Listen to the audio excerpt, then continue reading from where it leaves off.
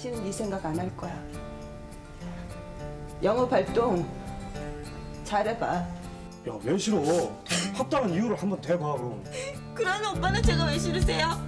너한테 그렇게 잘해준 여자를 그런 식으로 배반을 하래?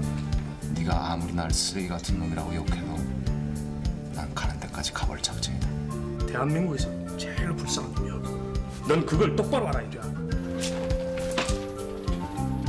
보이자 배 앰비셔스 잘 먹고 잘 살아라.